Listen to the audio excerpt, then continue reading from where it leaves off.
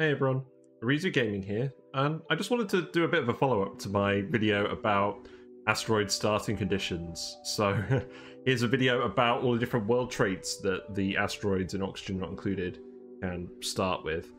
And again, it's, it's a case of there being some information on the wiki, but it's not particularly complete, and I just wanted to summarize all of it here uh, to help you guys see what you're looking for when you're starting a new game of Oxygen Not Included I know the early game is really fun, and the world traits can make a big difference to how some asteroids play. And there's also some really interesting combinations of world traits that can lead to completely different experiences uh, in the late game, which I'll get into later. But yeah, I just got just to start. Here's a picture of um, a seed that failed to generate because the world traits were getting too spicy and they were overlapping with each other. um, let me know in the comments if you've seen this message before. But uh, yeah, let's uh, get cracking. So, let me just move myself down here. The first trait I want to talk about is just the boulders. So these are fairly standard. You're always going to have some world traits on certain asteroid types, and this is kind of like a filler world trait that doesn't really do a huge amount. Uh, but it just adds these granite and obsidian boulders to the map. And there's four different traits regarding these. You can see on the right what these um, what these boulders look like. Um, it's about 75% obsidian and then just granite on the inside, uh, some igneous rock. The obsidian is super duper hard digging level, so you need a level 3 digging skill dupe to dig through it, so it can block stuff in the early game. It can stop you from building something in that area, so you should be aware of those. Um, and what I've done is I've got the I've got four different um, asteroids with the same world traits otherwise. And I've highlighted the boulders in pink so you can see how big they are relative to the asteroid. This is a classic start in all of these cases. Um, so the small ones are still fairly big. This is a small boulder here. Um, so it'll take up a fair chunk of space. And then the medium and the large ones can get even bigger. The large ones can be as big as whole biomes. Um, you're not guaranteed to get the amounts showed up here. Um, the game will try and place up to 20 small boulders, 10 medium boulders, uh, 5 large boulders, but other biome generation uh, features, etc., will stop these boulders from forming. Like you can see this one, this one over here has been cut off, this one over here has been cut off. So you'll typically get less than uh, you'll typically get less than these values. And mixed mixed boulders just adds a range of different boulder sizes. So expect chaos. um, yeah, not super interesting. The boulders start at the normal biome temperature, so in most biomes they'll be temperate. On Rime maps, the boulders will also be cold. They'll also be warm on Aridio. So just bear that in mind. This one down here in the oil biome was oil biome temperature, and then the abyssalite was here, and then it went into the magma biome. So you can't really do too many temperature shenanigans with it. It's just an obstacle, really. Nothing, nothing hugely significant about these. Generally takes the place of a more interesting trait. But uh, yeah. Next up we have the glaciers. So the glaciers are a bit more interesting in that they're they're the same sort of size as the large boulders, and they're made of ice, polluted ice, and wolframite. And they're very cold. They generally generate at around minus 60 degrees C.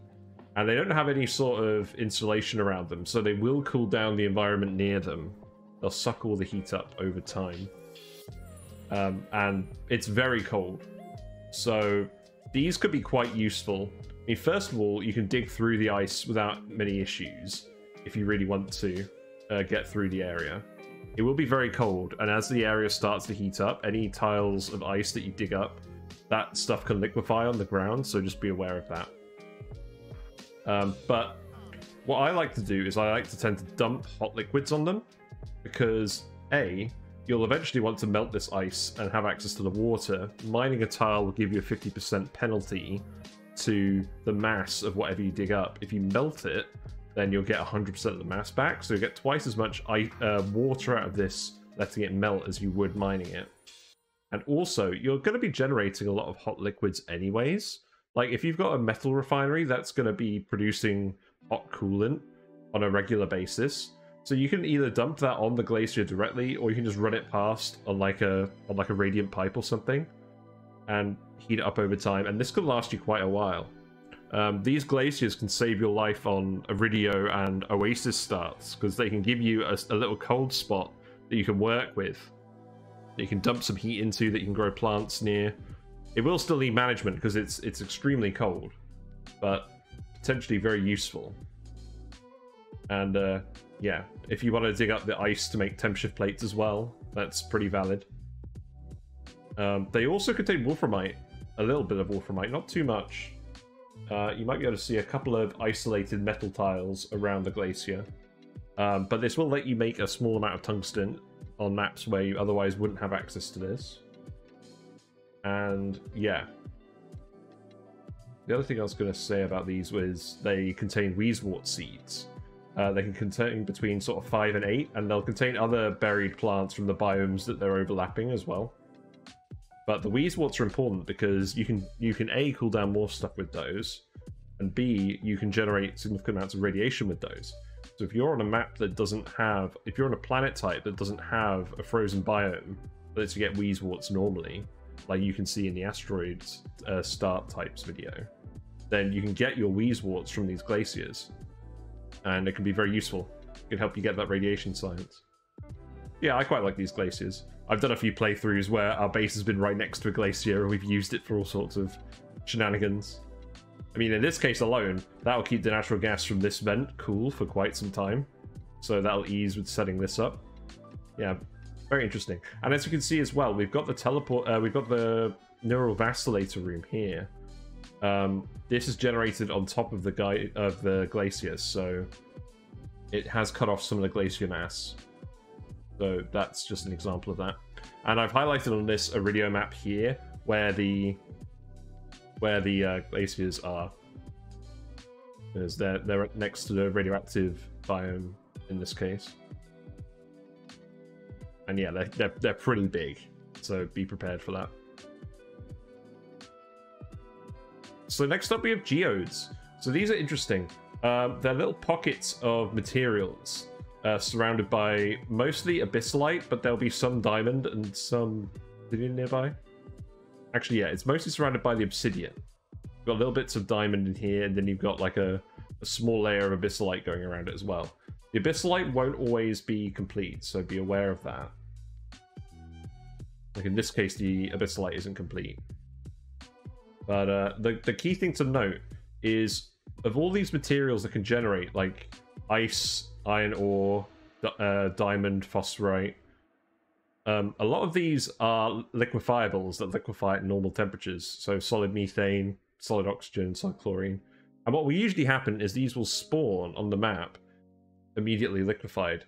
And one thing to note is that the gases will spawn at extremely high pressure because it's trying it's it's spawning a 600 kilogram solid tile and then that's immediately evaporating so you end up with 600 kilogram per tile gas pressure in these geodes so even though it looks like a small pocket if you break it open it will flood the outside of the map especially on smaller asteroids so you need to be really careful about opening these up um, reminds me a lot of the Baitor mod where you uh, have a hellish map where it has just random massive gas pockets that you need to watch Aberdeen for.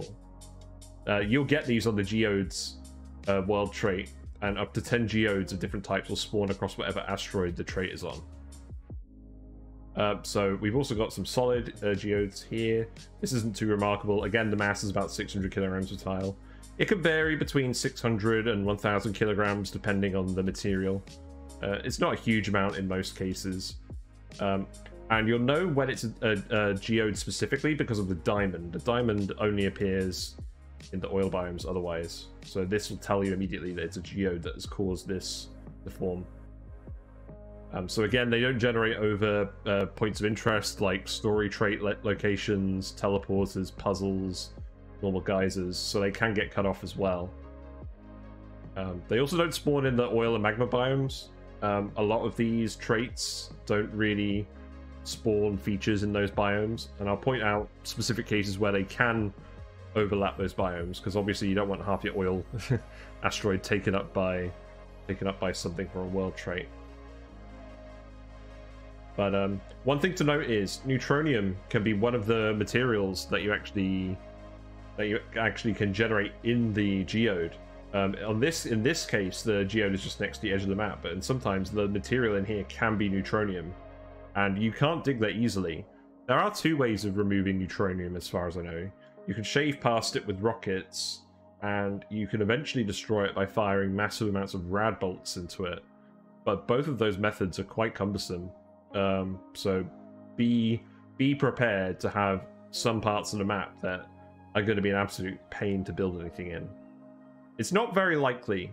I, have only seen a Neutronium geode once uh, in my time playing this game, but it can happen. Yeah, they're pretty interesting, pretty harmless most of the time. You'll find this on most asteroids. Yeah, let's move on to slime molds. This is one of my least favorite world traits. Uh, it generates up to 30 small lumps of slime and algae. It's mostly just slime. There's very little algae in these. And the slime comes with large amounts of germs at normal temperatures. So between 20 and 90 degrees, these will have the full amount of slime lung germs on them. So you'll need to be careful about excavating these and not letting them off gas the slime lung germs. Otherwise your dupes will get ill and that'll just be annoying. Slime Lung isn't actually too bad. I worry about it too much, but it is just annoying. So it's something you should be aware of. Um, but one thing to note is, um, if they spawn in cold biomes, like uh, the cold rust biome or biomes on the Rime map, uh, it will be too cold for them to spawn with a significant amount of germs, and those germs that they do spawn with will quickly die off. So they're a lot safer on cold asteroids. They can't spawn in magma biomes, so you're not going to have them be cooking immediately in the magma. Um, in this case, this slime mold has spawned in an oil biome. Um, and even then, it's not quite hot enough to cook the slime lung. You can heat it up to the level where it will die off quite easily. If you just have like a couple of oil wells running and you're just letting all of the material out onto the map. But it's, uh, yeah, you do need to do a little bit of work. And these slime, slime, slime molds are quite big. You can see in this overview here how they sort of spread out like real life slime molds. They've got like little tentacles coming out. So they can take up a significant amount of space on your asteroid as well. And they could really complicate building. So I try and avoid I try and avoid generating worlds with these traits whenever I can when I start a new run. Um, quite quite annoying. But um, can certainly make for a more interesting experience if you're into that sort of thing. Right, so next up, Geodormant and Geoactive. So these world traits only affect the main asteroid that you start with, and they'll only affect um, classic style asteroids. They won't affect any of the spaced out style asteroids like the Moonlets or Terrania, Folia, Quagmiris. Um, and what this does is this increases or uh, decreases or increases the amount of buried geysers that you have on your world. So these buried geysers are quite standard, and you'll be able to find them pretty easily because they spawn in at very low temperatures, around minus 40. This is the case on all asteroids. They're not insulated, so they'll eventually equalize with the surrounding temperature, but it does take a while. And there's also the telltale block of neutronium that the geyser is actually resting on. So you can identify geysers pretty easily on the world map by looking for the neutronium. Um, and in this case, I've highlighted the geysers in pink on these maps again. We've got a geodormant one to the left. We've got a normal buried geysers set up in the middle and geoactive to the right. And varying from 9 to 16 is quite a big difference. Um, obviously, if you're trying to set up a self-sustainable base, having more geysers is often better. But sometimes you don't want that. Sometimes you want more freely available building space for like ranch setups, in which case Geodormant can be helpful. But generally, you probably only take Geodormant if you were looking for a more challenging experience. Yeah, um, very easy to spot these. Um, I guess I'll quickly talk about the buried geyser trick. If you want to find out what's in a buried geyser before excavating it, um, you can go to the errands the errands mode. You can see all the errands, and you can highlight the researching errand for the geyser, which will normally show up as like a five in the middle of the neutronium. You can switch it to yellow alert, and then you can hover over the yellow alert text, and it will tell you what the buried geyser is. so you can find out what these geysers are as soon as you spot them buried, if you want. I don't tend to do that because I like the surprise of finding what the geysers are, but that is something that is something that you can do if you if you need to know to inform what your next action is. And this, uh, yeah, so the geodormant and the geoactive world traits only cover these buried geysers. They don't cover fixed formations like cool steam vents or natural gas vents that spawn out in the open, venting into the atmosphere. Um, this only affects these buried geysers. Yeah, pretty pretty self-explanatory in this case, but uh, I just thought I'd show you the what it looks like on the map. Oh, so then we have Metal Poor and Metal Rich. And the description of these on the wiki is quite misleading. So I'm just going to run through the text basically. Like, these traits affect the generation of copper ore, iron ore, aluminium ore, wolframite, and gold amalgam veins on the asteroid. And what a vein is is kind of it's kind of weirdly defined. Like in the sandstone biomes, you'll often have these caves that are surrounded by copper those don't count as veins. That's like a specific feature of the sandstone biome. But the random metal blocks that you do find um, in these biomes will be subject to these world traits. So here we have like a random lump of iron, and because of the metal-rich uh, world trait, the, va- the, the the vein is a lot bigger than normal, and the tiles have a lot more mass than normal. But yeah, um, the metal or metal poor reduces the mass of the tiles, to 80% of its normal mass. And it also reduces the size of those metal bands to 80%. Um, so this is particularly noticeable on Arborea and Verdante worlds, where you start the forest biome and you have these thin bands of aluminium. On metal poor maps, these veins will be very thin and they'll they'll break up quite a lot. So you'll get less metal tiles on those than usual, and they'll have less mass. And those starts already have very little metal, so you'll need to be aware of that. But on the other hand, metal rich increases the mass and uh, the mass of those metal ore tiles by 200%, and it increases the size of those bands to 150%. So you get overall about 300% more mass than the normal veins on the normal worlds. Um, and again, this is really pronounced on the Verdante and Arborea asteroids. You'll have thick aluminium bands between the different pockets in your starting biome. Um, so yeah, makes a really big difference on those worlds. Um, this doesn't lead to either 64% for metal poor or 300% for metal rich uh, metal ores across the whole asteroid. There are quite a few exceptions to what's affected by metal poor. So tiles and formations are not affected. So you get your teleporter area, you get your um, like your cool steam vents, your natural gas vents, that are erupting into the environment. The metal that's generated with those is not affected by these traits. And as I mentioned before, the copperline caves in sandstone biomes and the metallic caves you get from the metallic caves world trait as well, they're not affected by these either. So if you're starting a sandstone biome, the effect of these traits is going to be much less than it normally is because most of the metal in those biomes is from those copperline caves. And then the oil biome, the iron in the oil biome isn't typically affected by the iron ore in the oil biome isn't typically affected by these world traits. The uranium ore and the other metal ores in the radioactive biomes aren't affected by these world traits. And also the swampy biomes that are full of cobalt, they're not affected as well. So yeah. Um, if you're playing the swampy asteroid, like like like the Squelchy asteroid, where you start with the swampy biome and you have lots of the copper caves, you're probably going to see like 50% or less of the effect of these world traits than you normally would. So just bear that in mind. Slightly less than advertised.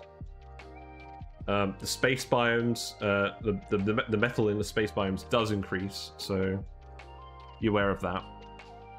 And this only affects metal ores. It doesn't affect the refined metals that spawn anywhere. So this doesn't affect the refined metal, the refined gold that spawns near the gold volcanoes on the metallic swampy asteroid. this doesn't affect the lead that surrounds your random lump of uranium. Um, that lump of uranium, I don't think it's affected, but I didn't actually check. Let me know in the comments if the random lump of uranium gets affected by this. And um, the most importantly, the lead tiles in the oil biomes will always have the, the large amount of mass. They'll always have about 2,000 kilograms per tile of lead, and that's not affected by metal poor or metal rich. So, yeah. In some, I mean, I'm not sure if you can really see it from these images here, but the the gold veins in particular in the marsh biomes on these asteroids, you can see there's very little gold in those biomes on the metal poor one. Whereas if you look at the metal rich one over here, you can see those gold veins are a lot more pronounced. So that's a case where you can really see the difference. But you can also see that starting in the swampy biome, there's no difference at all to the uh, cobalt generation in blue. So yeah, overall these traits have a bit less of an effect than you expect. Metal rich makes things easier, metal poor makes things harder. Um, if you want to start where you're running out of metal and you need to explore more for that and you don't want to overly rely on, on the metal for building massive sheets of wires like I do, then metal poor could be interesting. Or if you just want to build massive sheets of wires, then metal rich can be uh, can be better as well. So yeah, similar subject, the metallic caves. So this trait is fairly straightforward. It just spawns these these caves full of cobalt on the roof, and then sort of surrounded by by granite and a little bit of iron ore, and filled with carbon dioxide at normal biome temperatures. And it just spawns these randomly across the map. Like this this uh, asteroid here, the you can see the cobalt and blue. There's no swampy biomes on this asteroid, so that's just how the caves spawn. And in this case, we've got about 12 caves. Um, so it does give you some cobalt. It is always cobalt. Uh, there isn't any refined metals associated with these caves, and the mass of the cobalt tiles isn't affected by metal poor or metal rich. Um, so you just end up with a few more of these metally holes. There's a little bit of extra metal, but it's not a huge deal. Um, interestingly enough, the pockets full of carbon dioxide, this can be relevant on like spaced out starts. Like if you're trying to launch like a carbon dioxide rocket, having these big po having these guaranteed big pockets of carbon dioxide can help with that at the start. But I mean, that's that's pretty niche. You you probably have other ways of generating carbon dioxide most of the time. Um, yeah, not really too much to talk about. The cobalt tiles are about 1,200 kilograms of mass, so it's a pretty decent amount of metal in each cave. But um, the cave itself is still fairly small. And again, it spawns at the normal biome temperature. So, moving on to the kind of interesting one. Um, trapped oil and irregular oil. So, let's have a look at this Aridio world we have a normal Aridio map where there's a normal oil biome along the bottom with a normal amount of oil wells. So in this case, three wells. And then the magma biome is below. Um, so what the trapped oil trait does is it retra- is it replaces some of the normal oil biomes, which are called patch oil biomes, uh, with large freestanding oil pools. Yeah, so so so those standard patch biomes have large pools of oil that you can just pump straight away. And what this trapped oil trait does is it replaces those pools with dry dry uh, biomes that don't have those massive pools of oil, but they do have more oil wells in them. So in this case, we've got about 10 oil wells on this Aridio, where there's less overall oil biome space, but the wells are really cram packed together and you can see them shown by these little star icons. And then what the irregular oil trait does is it spawns additional patch oil biomes across the map, and it replaces some of the um, replaces some of the patch variants with dry variants that lack the freestanding oil. So you'll notice for this Aridio asteroid with the irregular oil, um, the oil biome is still down here. There's less there's less oil wells and there's less freestanding oil in this normal biome, but there's these little mini oil biomes all around the asteroid that have the oil wells in them. And irregular oil in particular can be very powerful early game. You can start at your printing pod and often immediately just wander out of your starting biome, enter an area with an oil biome. You can pour some water on it, pour some polluted water on it, get it down to below scalding temperature, and send your dupes in to mine the lead and the fossil immediately. And that lead will help you build all of your first refined metal things. You just need to make sure to insulate it properly so the heat doesn't leak out into your base. But really early access to lead, fossil, and oil can be really impactful. You can get steel really quickly. You can you can get conductive wires everywhere really quickly. Very useful. And obviously, if you're sustaining a large base, having the trapped having the trapped um, oil biome with lots of oil wells will really help you generate lots of petroleum, potentially generate lots of plastic.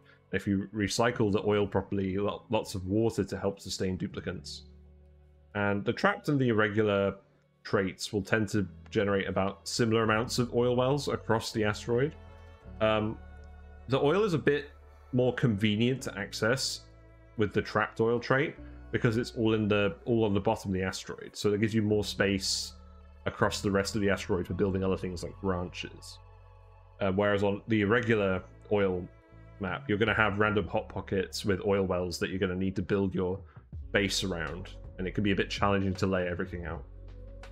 But yeah, the, the the real interesting thing about these two traits is these stack with each other. First of all, so here on the right, you can see we've got trapped oil and irregular oil on this Aridio, and that spawned up to 17 oil wells. In this case, the irregular bit is this big cluster here, and then another oil biome up here. So slightly less uh, small oil biomes than normal, but the, the bottom biome is really full of wells. So if you're trying to generate the maximum amount of oil wells on a map, you usually want to combine these traits together. Um, but the the one very interesting thing is you can combine these world traits with the Verdante and the Oasis starting asteroids because they have innate uh, innate irregular oil. Um, so they get this modifier regardless of the world trait, and you can actually stack it together, and you'll get twice as many oil pockets randomly around the map with twice as many oil wells. And there are some maps I've seen in the Spaced Out DLC that have over 60 oil reservoirs. So you can go absolutely crazy. Like, over 50% of the map will be taken up with oil biomes, and they'll all be full of oil reservoirs. That could be a very interesting challenge because you a, you don't have a lot of space to do other stuff in apart from your starting biomes, and you, you're going to have to build around all of those oil wells. But potentially very rewarding. You can have huge amounts of plastic, petroleum, polluted water, oxygen for your dupes. Potentially a very interesting start. This was the basis for my um, Verdante playlist, where I was trying to get up to 400 dupes, which is another YouTube video I've got where I talk about recycling all the oil. That was only possible because we had this map that had so many oil wells on it because of these traits. Yeah, it could be really fun. Um, one more thing to note about uh, these traits is they can often lead to oil wells, uh, oil reservoirs being spawned in the neutronium, like this block reservoir here. Um, you can't build an oil well on top of it because it would overlap with the neutronium. And rocket shaving this neutronium can be challenging. I mean, especially depending on where it is.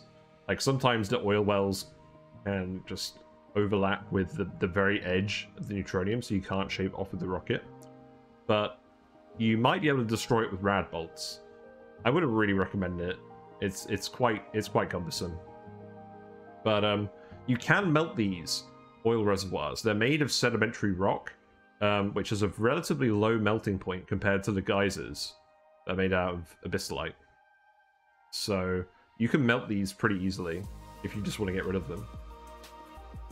And uh, yeah, that, that basically summarizes my thoughts on these traits. Really fun, give you massive amounts of oil um, massive amounts of hot biomes, good amounts of lead to start with. Some very interesting starts you can get from these. So then we have magma channels. So this is a very interesting world trait in that it spawns magma biomes in the two zones immediately above the normal magma zone. So I've got an image here, which is of a map where the oil biome has been completely overwritten by the magma channels. So you can see the normal magma down here with the very wide bands of material. And then you can see above it what's been generated by the magma channels world trait, which is sort of more 50-50 like patches of obsidian and magma. Um, so they can spawn in the like sort of two zones above the normal magma biome, and they can completely overwrite the oil biome. So expect less oil wells on maps with the magma channels world trait. Uh, these magma channels generally don't contain volcanoes. I haven't seen them contain them so far on their own with this trait. But they do contain magma at about 1500 degrees Celsius, and they also contain about 50% obsidian. But it should be noted, this obsidian is much colder than the obsidian that spawns down in the proper core biome. It usually spawns around sort of 250 to 400 degrees C, depending on where it is.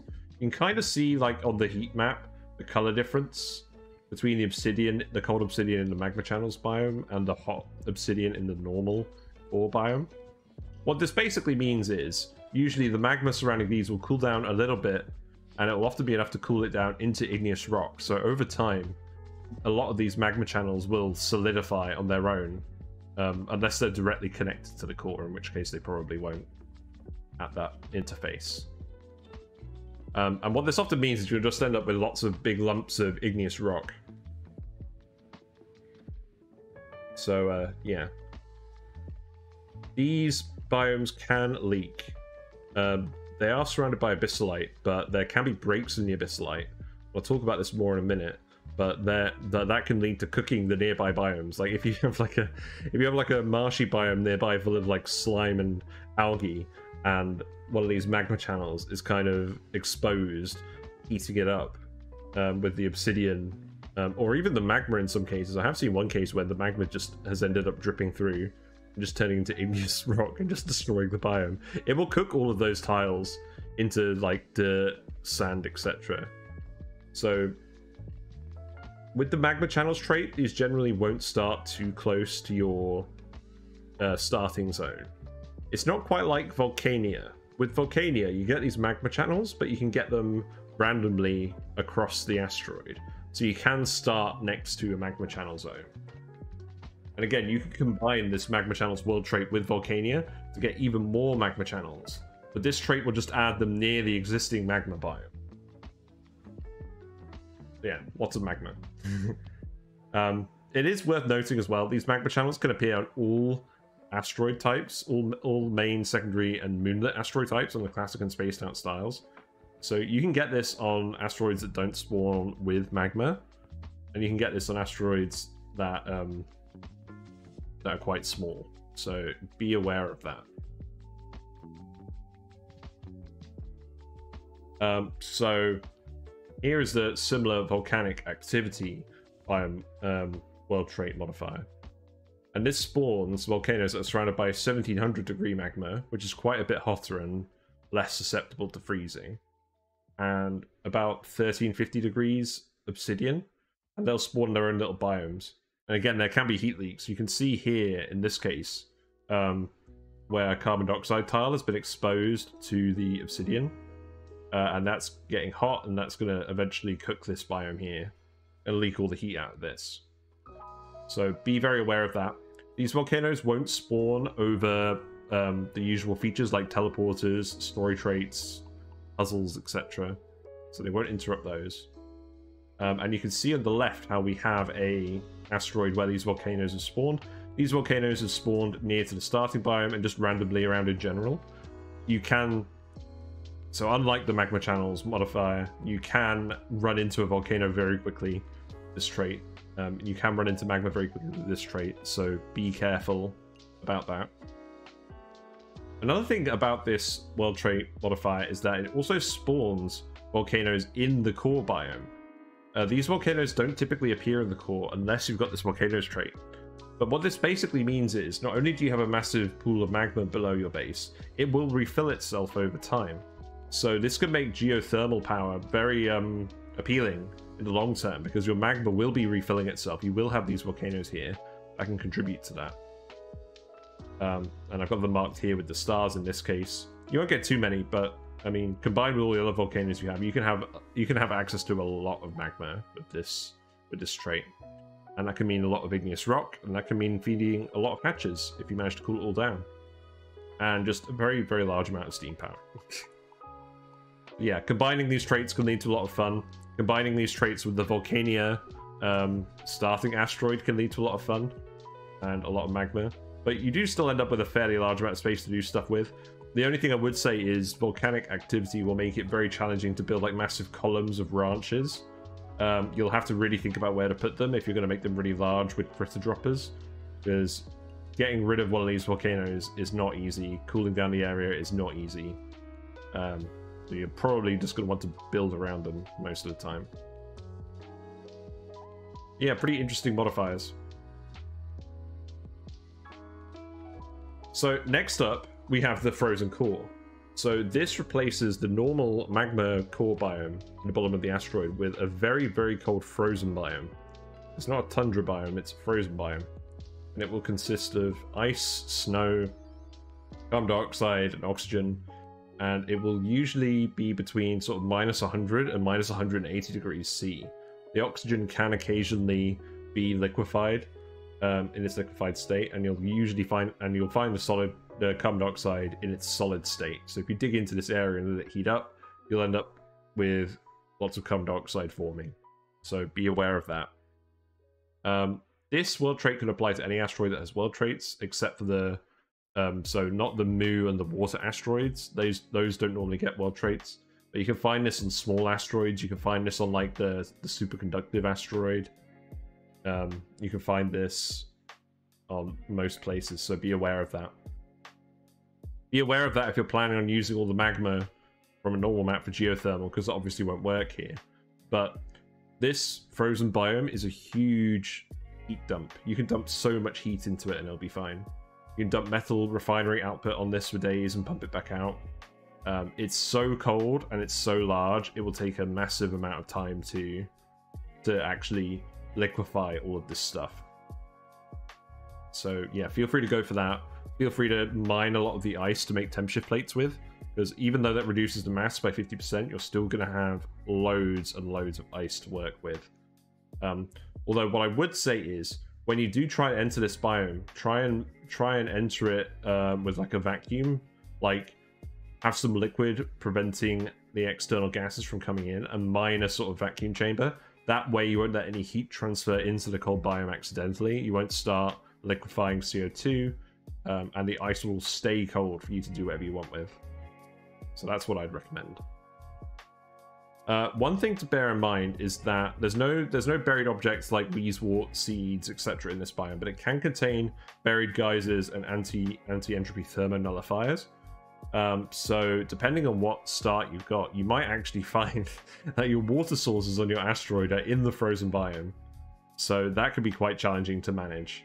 Um, you usually will want to get down to the frozen biome and investigate to see if there's any geysers down there. Sometimes you don't get any, and sometimes you get a lot. So, I've actually found a specific seed that I thought was really interesting, um, and I mentioned it on here on the right. So this map is Arborea, and it has frozen core, and it has the magma channels. And this frozen this frozen core biome contains a large amount of buried geysers and a lot of anti-entropy thermonullifiers. So and to get to this, you have to go through the magma channels, and there's no easy column like there is on the flipped asteroid. That could be very challenging to get to all this. You can dump all of the magma onto the frozen biome to heat it up and turn it all into steam, which could be very amusing. Um, and probably quite viable, to be honest. Like to clear the area quickly, but yeah, very challenging. And also, the magma channels, again, in this case, has completely replaced the oil biome. So there's no access to oil on this seed until you get into space and you start mining the oily asteroid field. Um, you won't find any of it on the on the normal planets. You'll have to find it with the drill cone. So potentially very challenging, potentially very rewarding. Pretty interesting seed that I just wanted to to bring up. But uh, yeah, this can this could make this frozen core can make the game easier. It can make the game harder if you're trying to use the magma for power. But usually it makes the game easier because you can just dump all your heat into it and grab a load of ice. Pretty pretty interesting world trait. So then we have the crash satellites. So these will spawn in the top biomes just before the space biome on main asteroids. And on the smaller asteroids, uh, they'll often spawn in craters that are exposed directly to space. So you can see here on this frozen forest moonlet that we have um, we have a satellite that's formed a crater, and then we also have satellites just in their normal caves. And in this case, this satellite is just exposed because there's no there's no rust on this asteroid. But you'll usually find them in caves. Um, they'll produce a large amount of rads. They'll produce up to 2,400 rads at the center, and that will get partially blocked by all these solids, but it will be a significant hazard to any dupes wandering past. Uh, if they're building something near it for any significant length of time, they will get radiation sickness. So either give them pills or give them lead suits if you're going to be having them near these things constantly. Uh, the free radiation it doesn't stop, it doesn't diminish over time. So you can just build your radbolt generators near it and run your radiation science off this. I've done this on spaced out runs where I've had very few dupes. Um, quite useful. Um, you can actually inspect these for databanks, and you can also rummage them, and you'll often find random items in them.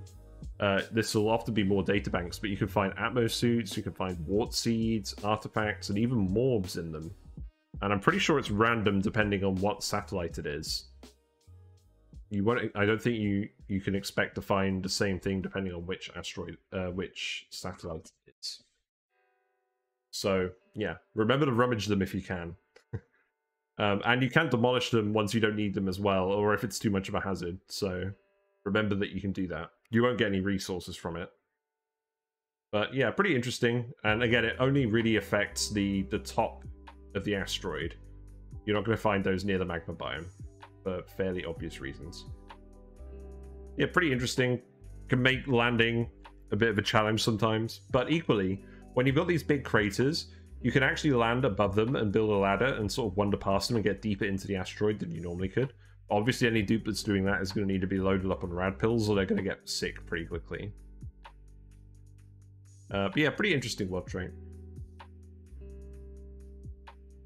So then we have the alternate pod location trait. Um, so this shifts the pod horizontally and vertically within the asteroid. Um, the effect is most pronounced on the classic starts.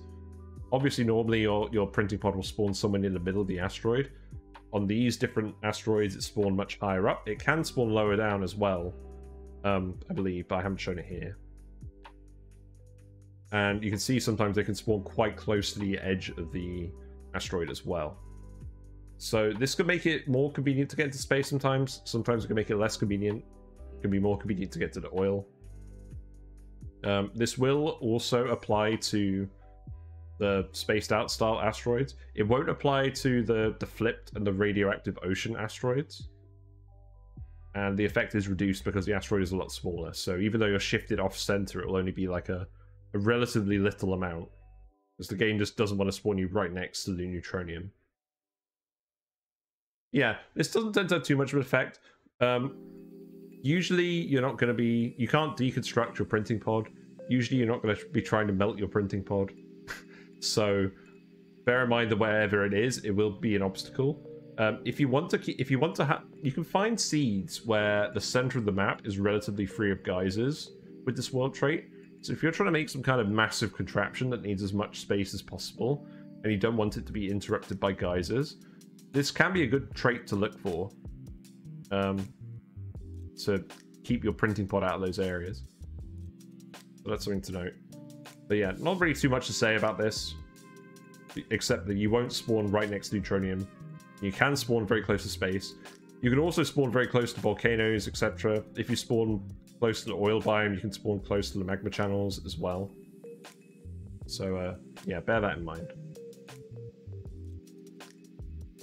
So then we move on to the sort of spaced out only world traits. And subsurface ocean used to be a trait that would spawn on classic asteroids. But as far as I can tell, you can't generate a classic style um, world with the subsurface ocean now. Because you just get the normal space biome instead. And what this what this world trait does is it replaces the top biome uh, with a large ocean biome filled with salt water it's very similar to the uh, biome on the Oceania asteroid. It'll spawn about 30 degrees, It's filled with lots of poke shells, filled with lots of granite, lots of salt water, uh, pinch of peppers, wheat, uh, water weeds, etc. Uh, and the main case where I think this is relevant is if you're picking like a Folia or Quagmiris uh, asteroid, which is still fairly large, but within the space star category, you can still have the subsurface ocean on those. So what your map will look like in those cases is you'll have your starting biome, you'll have an ocean biome at the top, you'll have a badlands biome at the bottom, and then you'll have a magma biome at the bottom. So again, that's a bit of a different start than usual. I think I feel like the Folia and the Quagmiris starts, and the Terrania starts as well, are pretty underrated. You, you get like the hybrid experience of going between the classic and the moonlet starts uh, can be pretty interesting. You get some different world traits and generation behavior than normal. So uh, yeah, that's pretty interesting. So you can get these subsurface oceans on the the Folia, the Quagmiris, uh, the metallic swampy asteroids. You can get them on the tundra and the marshy outer asteroids as well. Um, I think these are the only asteroids where they tend to spawn. So it's quite a rare world trait. Quite a rare world trait for your id asteroids, and you'll often mostly encounter it on these outer asteroids. Yeah, sad, sadly not a feature of classic uh, starts anymore. And then next up in a similar sort of vein, we have the lush core. So sat, so this world trait replaces the core biomes with a, a forest biome. So it's filled with trees, pips. It's a nice, comfortable 20 degrees. Uh, you find the aluminium ore in there, lots of dirt.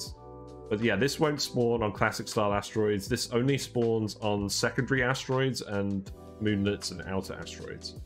So in the case of like the the Terrania, Folia, and you'll find this on the oily swamp and the rusty oil secondary asteroids. You'll uh, you'll find this on the most of the starting moonlets as well. You can find a lush core.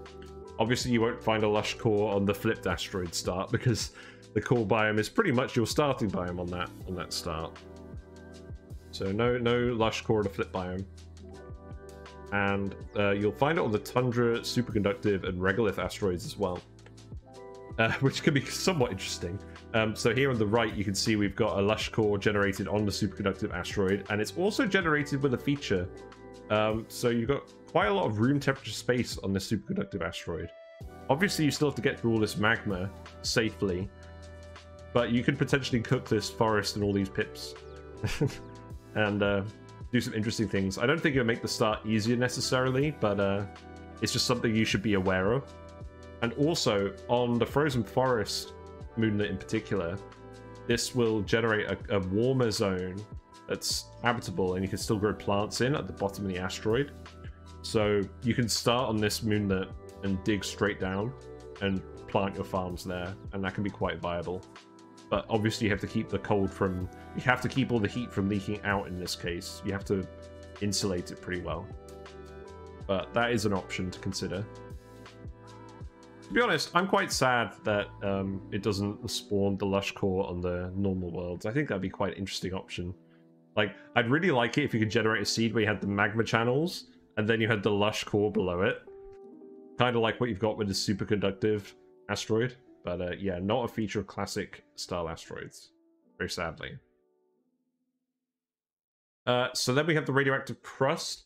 So again, uh, this appears on classic style secondary asteroids. It can appear on the oily swamp and rusty oil asteroids, and it will appear on most of the moonlets, except for the flipped moonlet for fairly obvious reasons. And it can appear on the tundra and marshy asteroids. And what this does is it adds uh, uranium ore tiles with 100 kilogram mass, similar to the radioactive biomes, to the crust of the asteroid. These will be at about 40 minus 40 degrees, like the normal uh, radioactive biomes. And they'll be surrounded by granite and sedimentary rock tiles as well, with a large amount of mass. So, not super interesting, but it does give you more access to uranium at the start. If you're playing on a world that doesn't have wheezeworts or shine bugs, it gives you a lot more uranium than normal. Um, it's effectively just a large radioactive biome covering the top of the map. And you do get more uranium than normal. It can let you do a lot of your initial research off of the manual radbolt generator because um, you've got enough mass to work with. And I, I mean, I wouldn't really recommend setting up a nuclear reactor off of just the radioactive crust. But if you have this as well as as well as another radioactive biome, like say you're on the radioactive forest and you have all your beetas to do the uranium refining, this will generate even more uranium and let you run your nuclear reactor for a lot longer because it is a significant amount of uranium. If you're trying to do a nuclear heavy playthrough, I would highly recommend this world trait. Uh, but you won't ever get this on the main asteroid for a classic style playthrough, and you won't get it to start on the Terrania, Folia, and uh, Quagmiris asteroids. Yeah, pretty pretty interesting trait. The radiation from this uranium on its own is relatively low. It's not going to pose more of a hazard to your dupes in space. It's pretty much strictly of benefit to you. Yeah, I like how it looks. I think the pattern looks pretty neat too.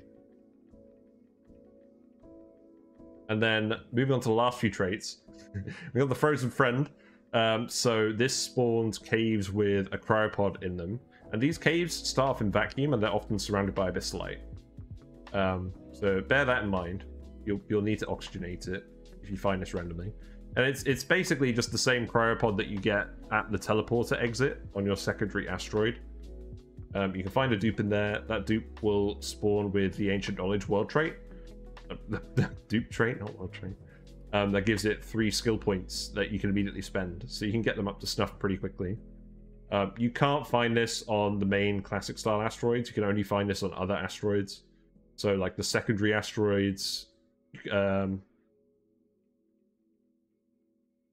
one thing I didn't check, I'm not sure whether you can start on a moonlet start with a frozen friend. I don't think these will ever generate on your starting asteroid, even with the moonlets, but they'll generate on other moonlets. Let me know in the comments if that's correct, because I didn't actually double check that. Probably should have. But um, yeah. If you're if you're doing the moonlet start and you're exploring the outer asteroids quite quickly, this could help you get your dupe numbers up. And these dupes can be pretty good. The only thing I would say is the other attributes with dupe are random, so you can get a mouth breather or an anemic dupe or a flatulent dupe or an narcoleptic um, and once you've released them, uh, you can't put them back in the pod. So deal with them how you may. But be aware that it might be a dupe that doesn't fit into what your colony does. Um, but once a dupe is released, all of your dupes on the asteroid will get minus 20% stress and plus 6 morale for 10 cycles. So that's a pretty big bonus. Usually makes it fairly easy to get the Frozen Friend integrated into your base, even if it's relatively small. But yeah, just be just be aware for any sneaky farters. So yeah, there we go. Steve and Ruby, friends forever. Um, so yeah, that's my summary of all the world traits you can find between the classic and the spaced out style asteroids. Um, I've just put some bullet points here summarizing quantities. Like, first of all, the Terra and the Terrania asteroids will never have any world traits. That's literally why you play them. If you don't want world traits, that's why you play them. Uh, classic style main asteroids will always have between two and four world traits. Um, they'll never get one. Um, so if you want a map that plays fairly similar to normal, uh, you'll probably want to like have something like geodes or like small boulders or something where it's not going to massively impact how the map plays. Um, the classic style secondary asteroids will always have two world traits, um, so bear that in mind. Uh, outer asteroids will often have even lower amounts of world traits. Uh, this can vary uh, between the classic and the spaced out styles, so I'm not gonna I'm not gonna repeat all the text here, but just bear bear that in mind. Folia and Quagmiris um, main asteroids will have two to four world traits as well. So again, they do kind of feel quite similar to the classic starts, in that they can be similarly complex. And then their secondary asteroids, uh, like the irradiated swampy and the rusty oil asteroids, will have one to two world traits. Then all of the Moonlet style asteroids will have one to two world traits. And you'll never find any world traits on the Mu and the water outer asteroids. Um, not really sure why they don't spawn the Mu asteroid. I presume it's because of the gassy meteors and stuff like that. But I've I've not really explored any of the stuff with gassy Mus to be honest. So don't don't ask me about any of that. But you don't get any world traits there. And the water asteroid that makes sense because the water asteroid is so unique. It's just like 90% water. It's very tall. So yeah, I can see why world traits don't generate there. But the outer asteroids, like the Tundra, the Marshy, Superconductive, etc., there will always be three world traits split between all of those outer asteroids um, within those quantities. So sometimes you'll have a superconductive asteroid with a trait, but your marshy asteroid won't have any traits. Sometimes your regolith asteroid will have the trait instead of your superconductive. Sometimes I think, yeah, sometimes you get a tundra asteroid without any traits as well. Yeah, um, I like the world traits. They make the game more interesting. Uh, there's some really interesting combinations you can do with the starting asteroid types, like um, using magma channels to get rid of the oil biome, or just using the irregular oil to just get massive amounts of oil wells on a on a Verdante or an Oasisse map. Uh, you can have a lot of fun with these, and uh, yeah, let me know in the comments uh, interesting maps that you've played on that have had interesting world traits and how those have affected your gameplay. Because uh, yeah, like stuff like the glaciers has made a big difference to me. Um, like the trapped oil has made a big difference to me. Yeah, um, I like I like the system overall, and I hope they add more world traits, and I hope that they make stuff like the lush core um, like a classic style feature as well, because I think that'd be quite entertaining. I don't I don't see any reason why you wouldn't be able to generate a lush core in a classic style asteroid. Like some classic style asteroids don't have the forests at all. Like so being able to spawn a lush core on those would be a pretty interesting option. So I wish they'd do that. And I feel like I feel like adding an ocean core biome would be pretty interesting as well. Like the subsurface ocean, except it's replacing the magma zone. That could be that could be interesting. Again, in combination with the magma channel, so you just dump a load of magma on it. yeah, um, those are my thoughts on all the world traits. Um, thanks very much for watching. Uh, if you haven't already watched the previous video I did on the asteroid starting editions, feel free to watch that as well, because there's quite a lot of overlap between the asteroid types and the world traits in terms of how you're going to start your, your gameplay experience. But uh, yeah, I I usually play Oxygen Not Included on Twitch. I stream weekdays, 7.30 to 10.30ish uh, British time. Daylight Savings Time at the moment. But uh, yeah, we play Oxygen Not Included on there. All the VODs are on this channel, so feel free to have a look. We're currently doing a flip, uh, flipped asteroid run with only flatulent dupes. Uh, and that's been quite fun. And um, well, traits have made a little bit of a difference over there. Not too much of a difference. But uh, yeah, we're having a lot of fun with that start. And the next run that I start, um, I am planning on having some interesting world traits.